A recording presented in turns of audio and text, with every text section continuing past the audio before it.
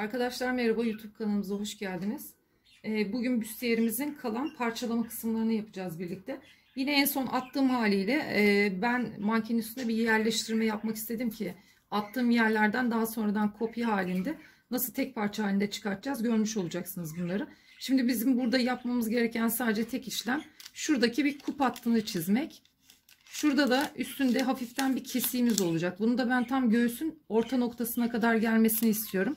Ön taraftan bir 3-4 santim kadar bir mesafe aldım. Göğsün orta kısmıyla birleştireceğim.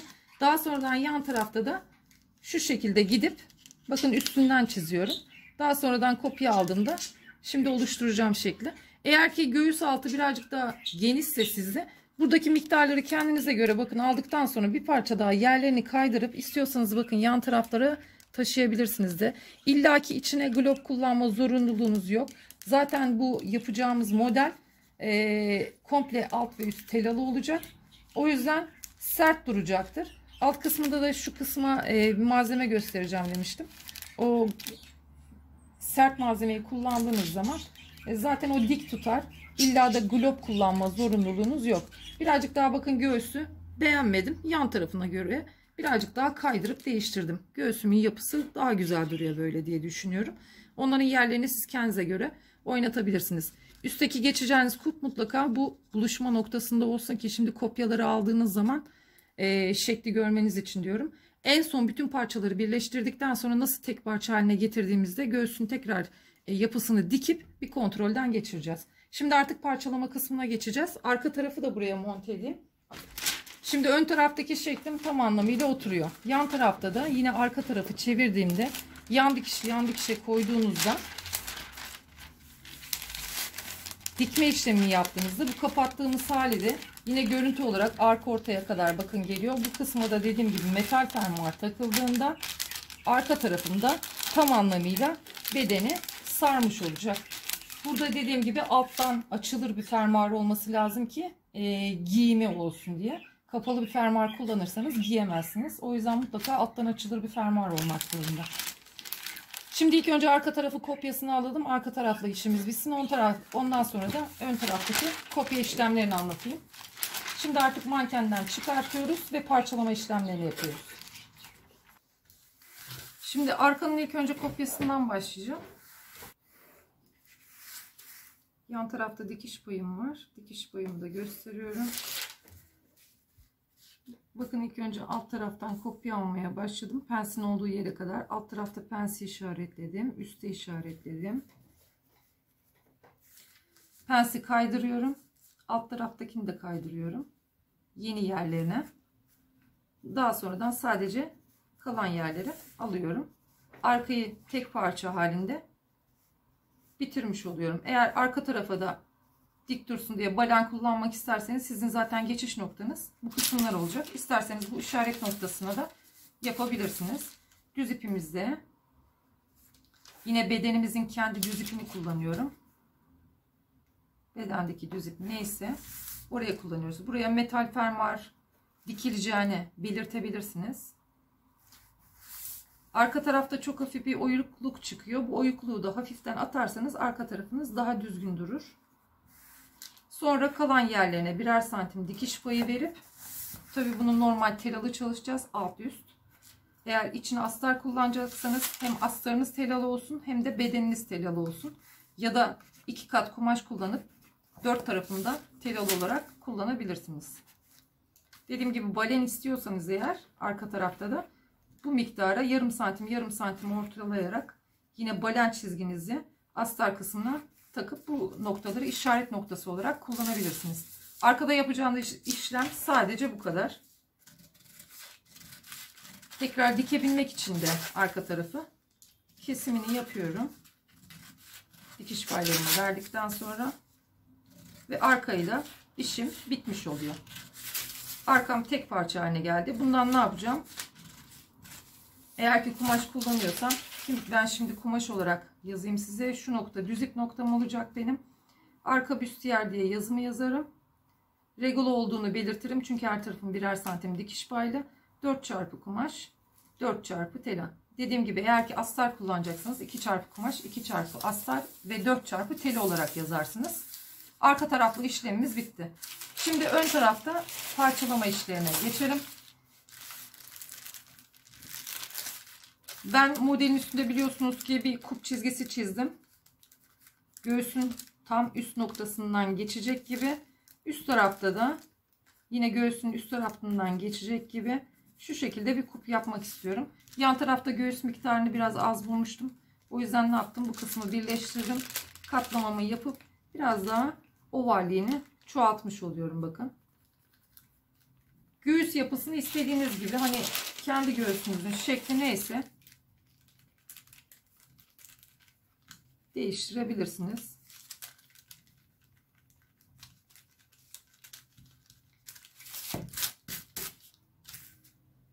Şimdi benim ön ortadan baktığım zaman şuradaki yerim tam yan tarafa kadar şu kısma kadar işaretlediğim alan 19,5 santime gelmiş oldu. Göğüs altımı biliyorsunuz ki 31 santimden çalıştım. Bunu da dediğim gibi eğer göğsünüz birazcık daha aşağıdaysa 32 santimde yapabilirsiniz. Göğsün üst taraftaki noktayı 16,5 santim aldım. Göğsün altında yazalım 31 santim. Şuradaki açım 19,5 santim. Yani şuradan şuranın alanı. Yine santim olarak görmek isteyen arkadaşlar için söylüyorum bunu. Göğüs pensini bir parça daha derinleştirdim. Birazcık daha oturumu sağlamak için. Şuradaki pens miktarlarımı dediğim gibi açtım. Ee, 3.2 üst taraftaki pensim geliyor. Alt taraftakinde 3.5 santime tamamlamış oldum. Burası da 3.2 geliyor. Ön belim 17.5 santime düşürdüm. Arka belimi de 16.75 yaptım. Toplamda benim herhalde 69 santim gibi bir bel ölçüm çıkıyor. Zaten bu da 38 için zaten oturması için yeterli bir ölçü. Çok fazla atmak istemiyorsanız bu yan taraftan bu miktar ayrı birazcık daha yarım santime istiyorsanız bakın düşürebilirsiniz. O zaman da hani göğsünüz azıcık daha büyükse illa da 7-8 e, milim ya da 1 santim kadar atma zorunluluğunuz yok. Birazcık daha rahat tutabilirsiniz bu kısmı. Zaten yeterince oturacaktır. Şimdi ön taraftan ilk önce bu parçayı bütün olarak çıkartıp sadece arasına astarda bayan takmak istiyorum. O yüzden ön taraftan itibaren bakın kopya almaya başlıyorum. Birinci kopyamızı alıyoruz. Tam ön orta çizgimi çizdim. Burası benim kumaş katı alanım. Siz bunu normalde açık olarak yapacaksınız. Ben şimdi yarım olarak anlatacağım size. Benim kapattığım zaman zaten çizgim bakın şu noktaya kadar geliyor ya. Bu noktaya tam bir dik açı yapacağım buradan. Yani şu noktaya dik açı yapmak istiyorum. Alt tarafında hafiften pensten dolayı bir eğim var ya. Ben bunu burada tam göğsün orta noktasında sıfır gibi düşünerekten gidiyorum. Benim burada kup çizgimin geldiği yerde bir işaret yerim var. Oraya bir çıt atıyorum. Kopya alarak gidiyorum bakın şimdi. Bunu tek parça haline getirmeye çalışıyoruz. Göğsün alt noktasına kadar geldim. Burada pensin ucunda durdum. Alt taraftaki pensin ucuna da geldim. Burada da durdum. Şimdi karşı tarafa geçiyorum. Pensleri kapattığım noktada bakın bu kısmı da çiziyorum. Tam orta noktasında eğer kupum ya da çizgim varsa oraya sadece bir çıt, çıt işareti alıyorum. Pensin alt noktasını işaretledim. Alt noktasını işaretledim. İlk önce bitmiş olan çizgilerimi alıyorum. Daha sonradan dikiş payımı vereceğim. Bakın bu kısmı da aldım. Daha sonradan da buradaki miktarımı yukarıya kaydırıyorum. Kaydırdım. Kaydırdığım yerden itibaren de yeniden üst tarafta kalan yerimi kopya aldım. Burası da benim yan taraftaki kupumun bittiği yer. Oraya da bir çıt işareti alıyorum. Bakın kopyalarımı tam anlamıyla tamamlamış oldum. Bitim yerimi de aldım. Benim göğsümün altyapısı tamamıyla ortaya çıkmış oldu. Şimdi burada yapmamız gereken dikiş paylarını verip yan taraftaki kalıbımız ve göğüs biçimimiz tek parça halinde bakın oluşmuş oldu. Göğsün yuvarlak hattını ortaya çıkarmış olduk.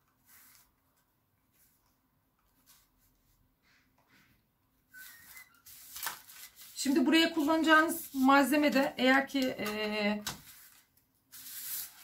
tanıdığınız yerler varsa hani e, bu tip malzemeleri satan bu 7 milim eninde sert bir plastik bir malzeme gördüğünüz gibi.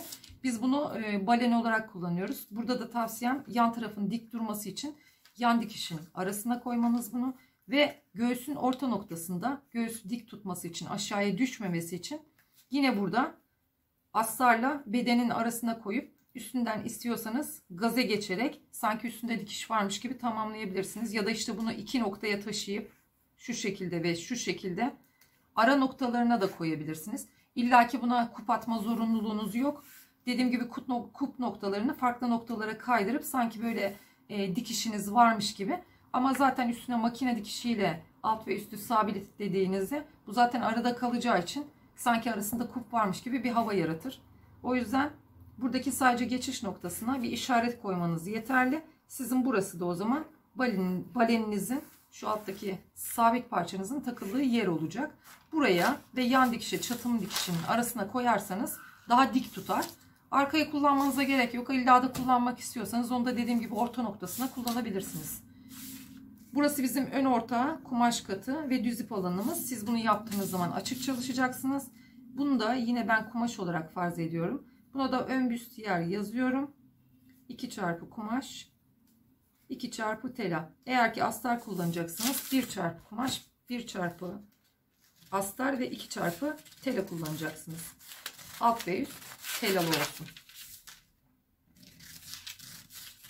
Bunu da yine kesip hazırlıyorum. Sadece geriye kalan göğüs parçalarım kaldı.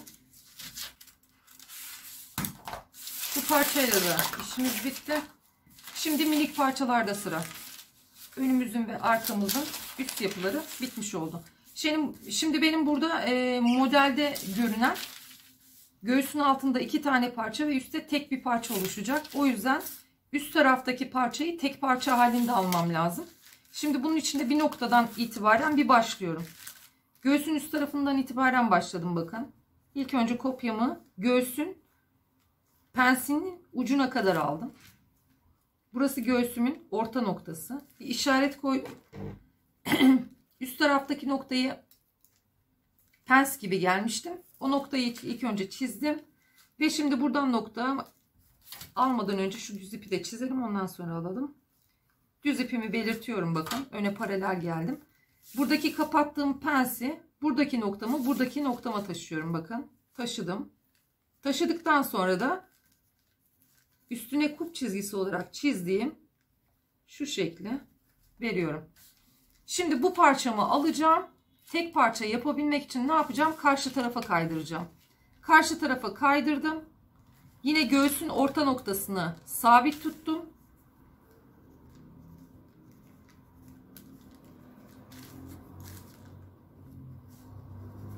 Yan taraftaki kopyamı aldım ve üst taraftaki kopyamı aldım. Şurada şuradaki pisliğin tam sivri nokta olmasını istemediğim için de tam uçtaki sivriliği hafiften eğimleştiriyorum. Göğsün ucundaki o sivri noktayı atmış oluyorum. Ve tam orta noktaya bir çıt atıyorum.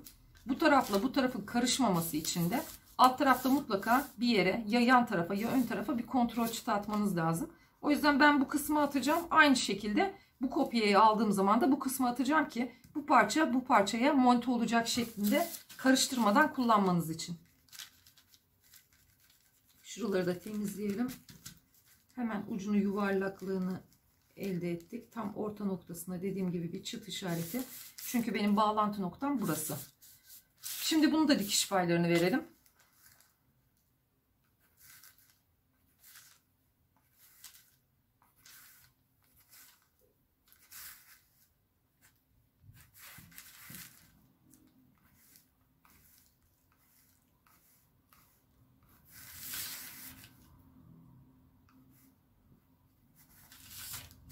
Yine bunu da adetini belirteceğim.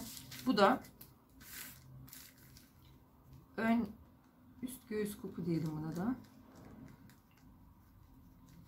Bu da 4 çarpı kumaş 4 çarpı tela yazıyorum.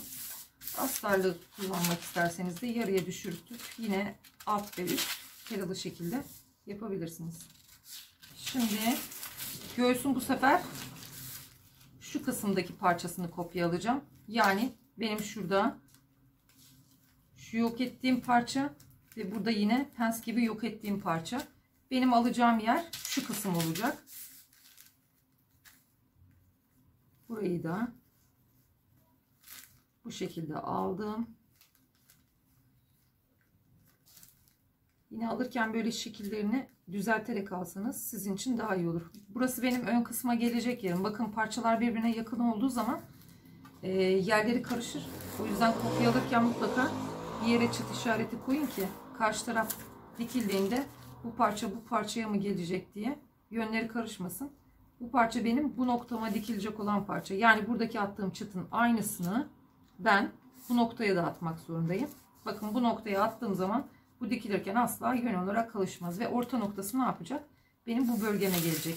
Yine kontrol etmek isterseniz de tam orta noktasından itibaren eğer ki eksiğiniz kalıyorsa da çok milimetrik şekilde tamamlayabilirsiniz. Bu da benim ön göğüs parçam. Ön göğüs kupu diyelim şuna da. Bu da yine 4 çarpı kumaş 4 çarpı tela.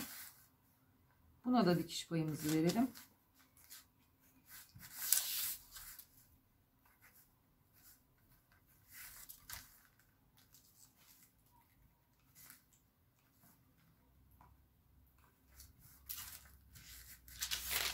Bunu da yine kesiyoruz. Ve son olarak yandaki parçamız kaldı.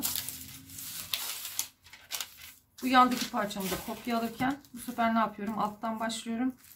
Yine benim orta noktam göğüs ortam burası. Burada da yine bu şekilde başlayıp ne yaptım? Göğsün altına kadar geldim. Bu kısmı çizdim. Buradayken hiç kaydırmamı yapmadan ilk önce düz ipimi alıyorum. Bedene paralel. Burası benim düz ipim olacak. Burada da alt noktamı bakın işaretledim.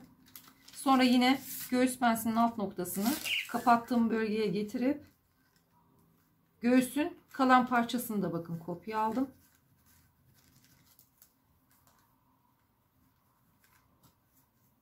Bu da benim diğer parçam olacak. Yine yer karışmasını istemiyorsanız buradaki parçayla istiyorsanız bizim ön kısma gelen yerimiz buydu. Bu parçayı da dikerken karıştırmamak için bu iki noktaya da istiyorsanız bir çıt işareti alabilirsiniz. Mesela buraya da iki tane atarsınız ki bu parçada dikildiği zaman bu noktaya dikilecek diye yönleri belli olmuş olur ve karışmaz.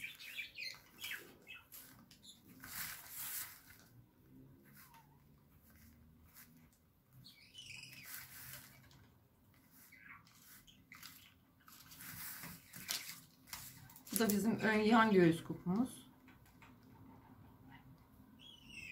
Bu da 4 çarpı kumaş. 4 çarpı tela. Bunu da keselim. Şimdi parçalarımızın hepsi bitti. Yerleştirirken de bu benim üst göğüs kupu parçam. Bu benim ön tarafa gelecek olan bu parçam. Ve bu benim yine göğüs kısmında. Bakın yönleri gene karışmasın diye karıştırmıyorum hiçbir şekilde. E, çıtları takip ederek de yönleri zaten kolayca bulabilirsiniz. Bu parça bu parça çatıldıktan sonra bu noktaya denk gelmiş olacak. Bu da benim ne olacak? Arka yan kupum olacak. Arka tarafım olacak. Şimdi ben parçaların hepsini birbirine iğneleyeceğim. Mankenin üstüne giydireceğim ve mankendeki son şeklini göstereceğim size. Arkadaşlar en son halinde iğnelemek istedim. Aynı yap, e, görselde gördüğünüz resim gibi. Üst tarafta bütün gelen bir parça. Alt tarafta iki tane parça. E, dediğimiz gibi şu kısımlara balen yan tarafa balen takacağız. Ve arkamızda tek parça halinde şu şekilde tamamlanmış oldu. Arka tarafa dediğim gibi bir metal fermuar takılacak. Alttan açılır. Göğüs şeklimiz bu şekilde ortaya çıktı. Siz yakayı kapatmak istediğinizde isterseniz bu noktadan alın. Diğerlerini daha üste çekersiniz. Şekilleri değiştirebilirsiniz. Göğüs altına 32 alabilirsiniz. Üst tarafı biraz daha kapalı yapabilirsiniz.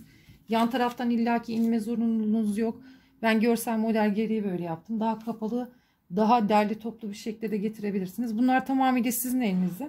Genel olarak ben e, pensi kapatma ve çalışma şeklini göstermeye çalıştım. Eğer göğsünüz iri ise şu parçayı tek parça halinde kullanmayıp biraz daha şuradaki miktarlarını istiyorsanız artır, artırabilirsiniz. Şimdi iğnelerin kanınından kaynaklı şuralarda potluklar oluşabilir. Bu kumaşa geldiğinde tabii ki böyle görünmeyecek. Önemli olan şu kısmın düzgünce sarması. Askı kullanmak isterseniz de bu noktanızı askı noktası ya da biraz daha geride dursun isterseniz birazcık daha noktanızı taşıyıp istiyorsanız bir askıda çalışabilirsiniz yerlerini ayarlayıp. Genel olarak e, büstiyerin çalışma şekli böyle arkadaşlar. Bunu paylaşmak istedik. Bir sonraki videomuzda görüşmek üzere diyorum. Kendinize çok iyi bakın. Hoşçakalın.